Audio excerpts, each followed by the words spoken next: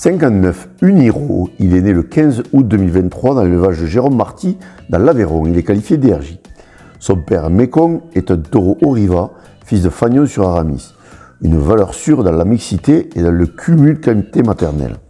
Sa mère, Ravi, est une fille de Jacques qui est un taureau élite qualité maternelle, descendant de Canoë, une lignée peu exploitée et peu diffusée. Uniro est un type mixte viande avec un développement musculaire bien équilibré, surtout son corps, et une bonne finesse d'os. Il est bien en ligne et équilibré dans son arrière-main entre ses hanches, son trochanter et sa largeur de culotte.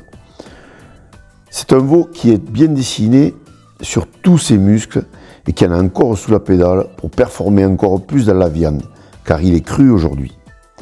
C'est pour cela qu'il a eu une qualification DRJ, car la commission de qualification a estimé qu'il n'avait pas encore dévoiler tout son potentiel à la station. Sa mise à prix, elle, sera de 3200 euros.